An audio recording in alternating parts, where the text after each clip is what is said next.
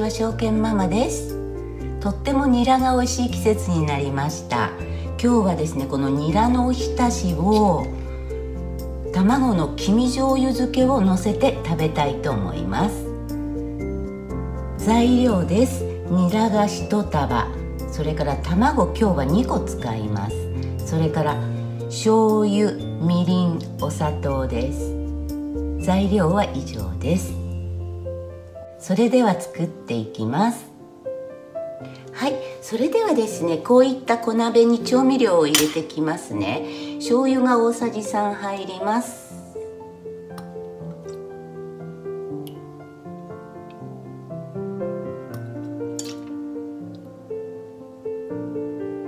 はい醤油が大さじ3入りました。それからみりんを大さじ2入れます。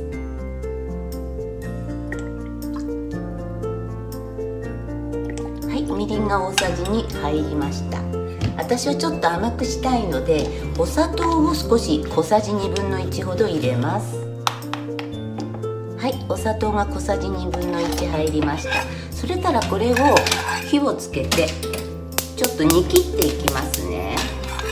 このまま漬け込んでもいいんですが卵の黄身を。ちょっと私は一度アルコールを軽く飛ばします。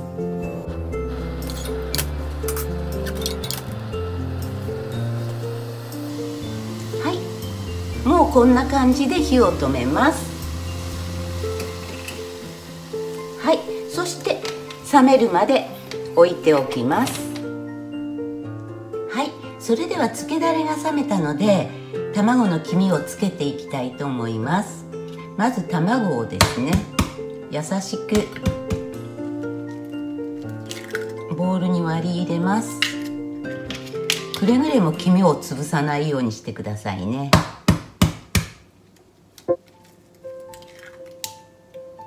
卵をボウルに割り入れました。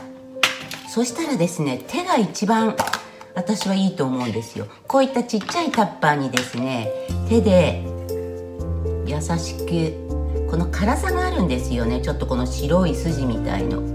これを完全に取って小さいタッパーの中に優しく入れてください、はい、こんな感じで優しく黄身を小さいタッパーに入れました。そしたらですね先ほどの漬けだれをこれに入れます。完全に冷ましてください。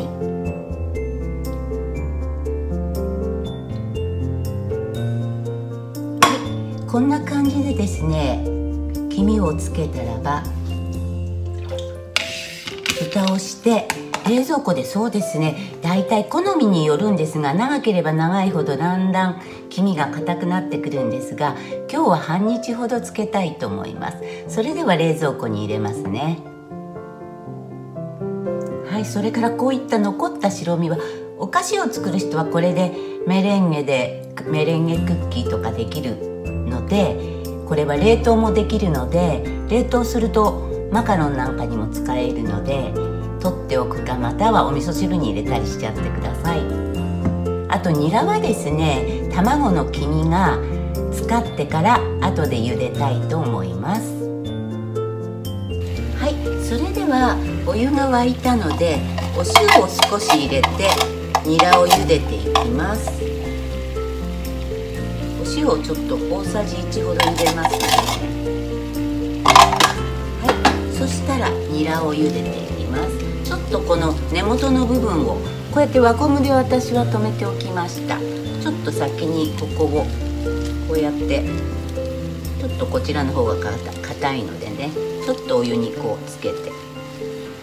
はいそれで全部入れていきます。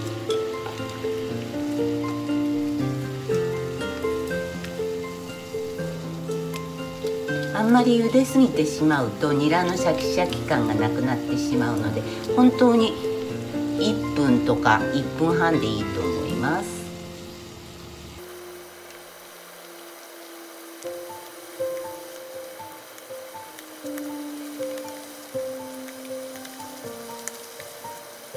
ちょっと根元を触ってみますね。はいもういいと思います。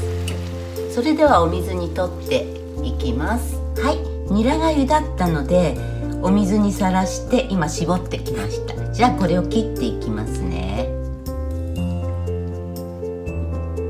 だいたい半分くらいに切って。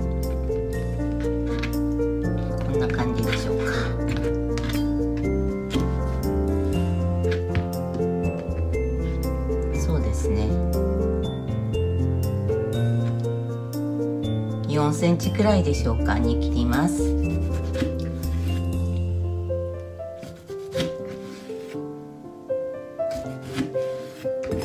はいニラを切りました。は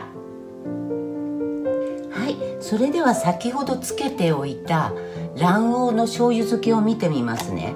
これ結局ですね6時間ほどつけました。こんな感じです。もう結構色色が濃くなって味が染みています。じゃあニラを盛り付けていきますね。ニラをよく絞ってきます。はいニラの水気をよく絞ってきました。はいニラをこのようにちょっと真ん中をくぼませました。卵黄が乗りやすいようにくぼませました。じゃあこれに卵黄をのせていきますね。先ほどの今日6時間つけました。だいぶもう硬くなっています。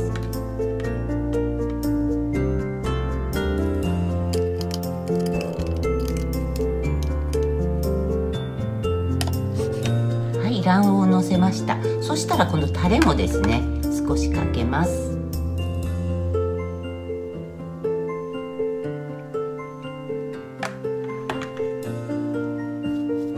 そしたら今日はですねごまを少しかけたいと思います。白ごまを少しトッピングします。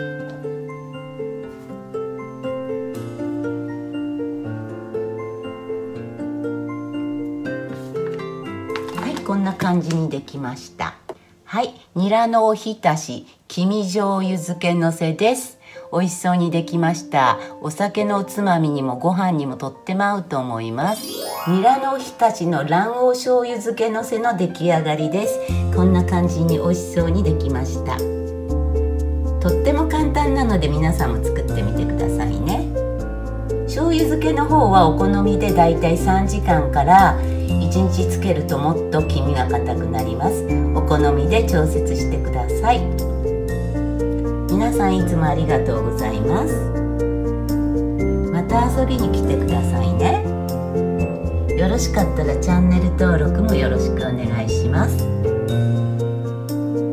皆さんいつもありがとうございます。それではまたね。バイバーイ。証券ママでした。